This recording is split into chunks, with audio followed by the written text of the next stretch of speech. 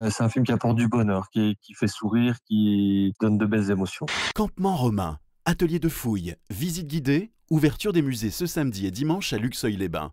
Retrouvez tout le programme des journées européennes de l'archéologie sur luxeuil-vosges-sud.fr. Pontoise Radio, l'agenda.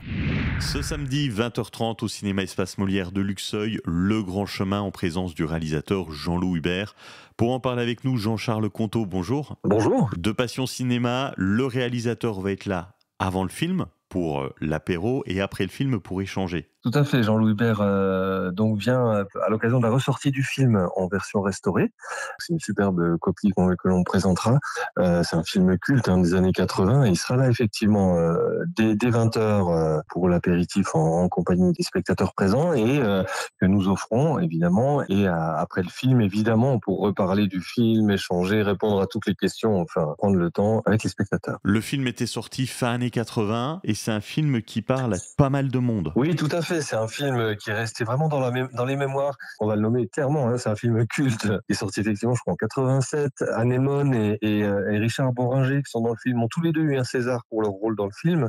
C'est un film qui est doucement nostalgique, avec une époque qui, nous paraît un peu lointaine et qui, qui nous rappelle plein de souvenirs et qui parle des sentiments humains avec justement beaucoup d'humanité entre les découvertes de l'enfance, les aléas des couples. Enfin, vraiment, c'est un très très beau film. Ce film, Le Grand Chemin, vous l'avez revu il n'y a pas si longtemps que ça. Qu'est-ce que vous avez éprouvé en le revoyant? Eh bien justement, j'ai éprouvé euh, de l'émotion. Euh, je me souviens vraiment de, de c'est assez tendre. Et puis euh, ce côté très nostalgique avec ce monde qui, euh, c'est ce temps qui n'est pas forcément si loin. On parle des années 60 ou 50 plutôt, paraît loin, mais voilà, et qui paraît, c'est un monde complètement disparu aujourd'hui, même pour les ruraux, hein, puisque c'est un, un, film qui se passe en campagne. C'est un film qui apporte du bonheur, qui, qui fait sourire, qui donne de belles émotions. On va pouvoir en profiter. C'est ce samedi à 20h30, Espace Molière, le film Le Grand Chemin en présence du réalisateur Jean-Loup Hubert. Jean-Charles Conto, merci d'avoir été avec nous. Merci beaucoup à vous pour votre invitation.